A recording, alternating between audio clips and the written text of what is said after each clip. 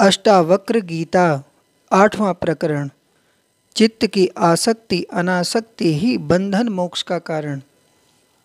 जब चित्त कुछ चाहता है, किसी के लिए शोक करता है, किसी वस्तु को छोड़ता पकड़ता है, और किसी वस्तु से रुष्ट एवं तुष्ट होता है, तभी बंधन है।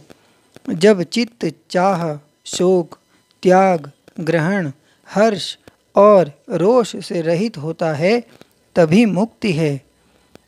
जब चित्त किन्हीं दृष्टियों में आसक्त है, तब बंधन है।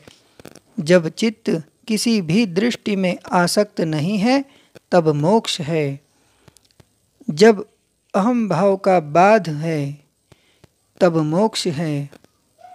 जब कहीं भी अहम भाव है, तब बंधन है।